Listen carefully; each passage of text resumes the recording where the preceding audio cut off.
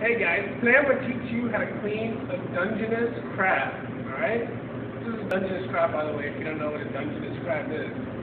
So first you want to start by inserting your thumb in its mouth and take off its body. You can throw this away. And then clean the rest inside with some water. You want to be very careful to remove all the lungs because the lungs actually are poisonous. They filter out the poisons for the crab in the water.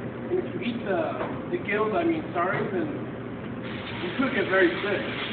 Just clean the insides like that. And now you have a clean Dungeness crab.